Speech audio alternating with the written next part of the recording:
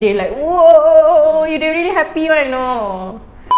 Hi, I'm Jasniza. I am a special needs educator. I teach children and adolescents with learning challenges.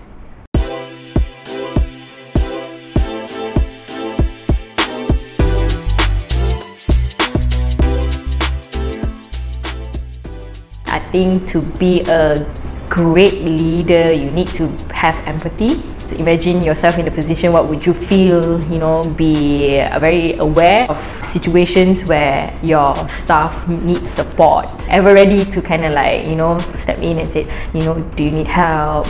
Another trait I'd say as to be a leader in this industry, you need to be a good communicator because we work with so many other people we work with the families and we work with other professionals. So you must get your message out in like in the right way and they understand like the importance of doing certain things and things like that. One of the vital skills that you need to have is flexibility. You can't avoid moments where you face some difficulty uh, in terms of behavior and things like that. So, as an educator, you need to think out of the box. Don't just confine yourself to just one, like, oh, I must do it like this, I must do it like this. When you are doing a task with them, you might have to differentiate the task for them. Some things are easier for some kids and harder for others. With whatever material topic you have at hand, you just kind of work around it for the needs of every child. I don't think there are struggles as a woman because I feel this is like a very women dominated industry. I would say I do face struggles as an individual. Uh, learning how to communicate with many people in this line, like you have to communicate with the parents, staff, your fellow teachers, your administration, and sometimes other professionals that also work with the child that you work with. You have to kind of like know how to approach an issue uh, that you face in your work. So you have to know what are the families doing at home to help their child and what are the kind of strategies that the speech and language therapists would also be using with that same child. You kind of want to go in the same direction when in being in your educational setting. So whatever they recommend, you also kind of want to practice it. Uh, because they spend a lot of time in school, you don't want to like go, you know, opposite directions lah.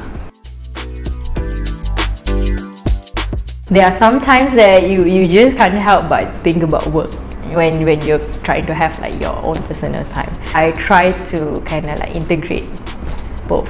If you're really into kind of like uh, helping the environment by reducing waste, so maybe it's an opportunity to also teach them about the environment.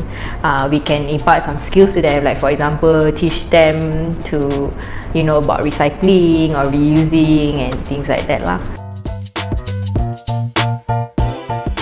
Just take those as an opportunity to say, hey, I can do more, I can learn more, and then take that uh, kind of incident and you know improve next time when you have that opportunity. Don't like second guess yourself or just uh, be confident and as long as you can back it up, then just go for it. Listen and then reflect and then move on.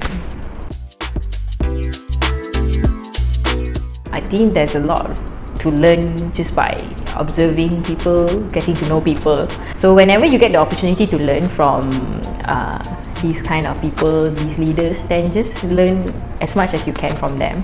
They have a lot to teach, you know, they tell you how to deal with uh, a certain situation, give you advice and things like that. Whatever that's good that you feel that you can apply in your own setting, then just go for it. There's so much for us to learn out there, there's really a lot. So whatever opportunity you get to kind of go and learn new things, I would say just grab at it.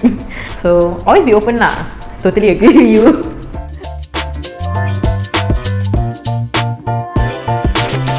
I hope everybody can embrace every opportunity to learn and to grow. Happy International Women's Day!